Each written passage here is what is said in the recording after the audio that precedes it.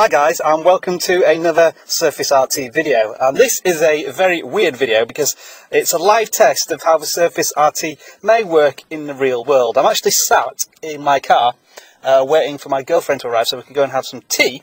While she waits I'm just doing a video to see if I could actually potentially use the Surface RT in the car. So I'm just going to show you around, there we are, I'm sat in my car and um, yeah, I'm just hoping that nobody's going to uh, watch me doing this because it'll probably look a bit uh, freaky.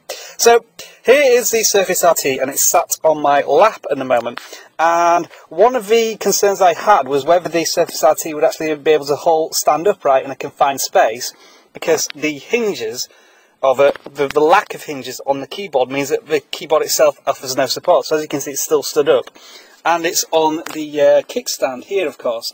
Now the problem with the kickstand is although it's a brilliant idea it's not flexible. It's either open or closed. You don't have an in-between.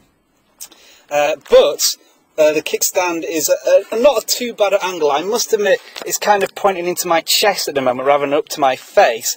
Uh, ideally I would like it to be probably more like that, then it would be pointing up at me, but obviously uh, I can't because the kickstand is sort of forcing it to point there. I mean obviously I could just take the kickstand off and then I could rest it on the wheel of the car, but obviously that's not going to happen all the time.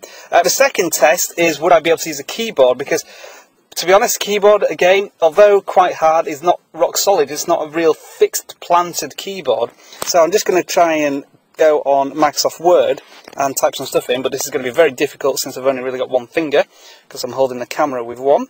But we'll see how this works. The picture, by the way, uh, looks quite good. I've got it on like a medium brightness, I think, and uh, yeah, it's quite good. So I'm going to use the touchpad, and we'll load something up, and get it in position, Let's see if I can actually type. I can't really hold, I've got to hold the camera while I type, so I'm just going to do some tests, see how well this types. So let me just bring the camera in so you can see what I'm typing.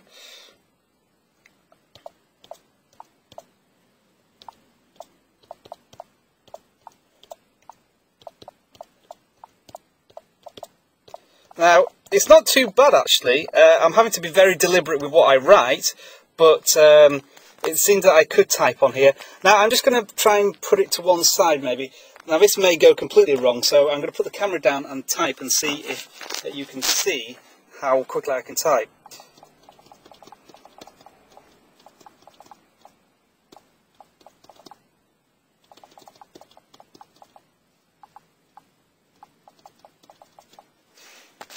So there we are, I did a test and I did make a couple of mistakes there.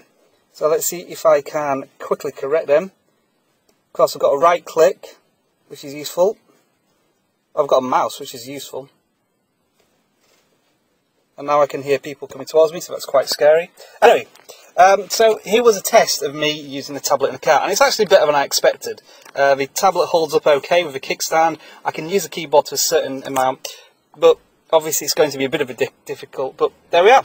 Hope you enjoyed this live test. Uh, I might do some more in the future, uh, but stay tuned for more Surface RT videos. Thanks for watching, guys, and I'll see you soon. Oh, the police are arriving. Ooh.